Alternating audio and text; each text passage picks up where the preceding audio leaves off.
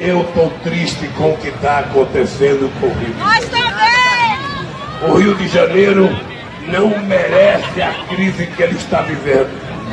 O Rio de Janeiro não merece, não merece que governadores que governarem esse Estado, que foram eleitos democraticamente pelo povo, estejam presos porque roubaram do povo brasileiro e roubaram do dinheiro público. Eu nem sei se é verdade. O Rio de Janeiro não merece, não merece que governadores que governarem esse Estado, que foram eleitos democraticamente pelo povo, estejam presos porque roubaram do povo brasileiro e roubaram do dinheiro público.